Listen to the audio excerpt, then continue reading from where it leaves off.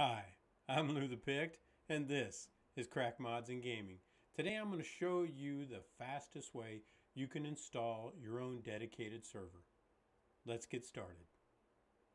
So one of the first things you want to do is you want to figure out your directory structure where you're going to put your dedicated server files. Normally I just put them in my uh, the root of my C drive because this dedicated server it's not going to do anything else. So create a Steam CMD folder there. Next we want to download Steam CMD exe from here. URL is in the description. You can extract it where it downloads or you can extract it in your Steam CMD. If you extract it here, just extract all. I cut the Steam CMD exe out of the folder it extracted to, put it in the root of Steam CMD, and delete the additional folders that are in there just to keep things neat and clean. So once that's done, we want to go to this URL in the description and look for the dedicated server app ID. This is the list of all the Steam dedicated servers. I'm just going to search for Conan Exiles. Once you have the dedicated server that you want to download, simply copy the ID because we're going to need it in our script in a minute. All right, this is our down and dirty script.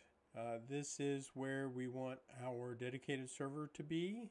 We are going to log in anonymous, our app update. This is our app ID. This is also an updater file. So when you want to update the server to the latest version when it changes, I'm going to eliminate validate because that doubles the work. And our quit tells it to automatically turn off when we're done.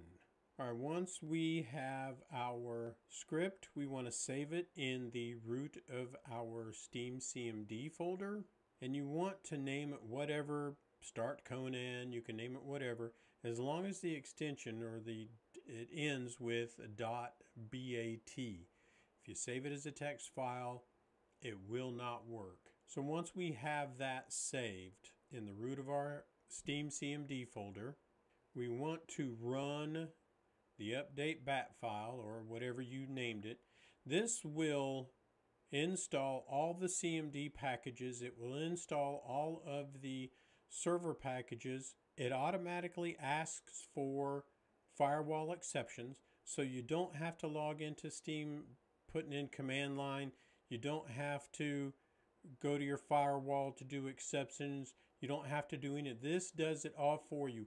Once this is done, you are done. All you have to do is configure your server.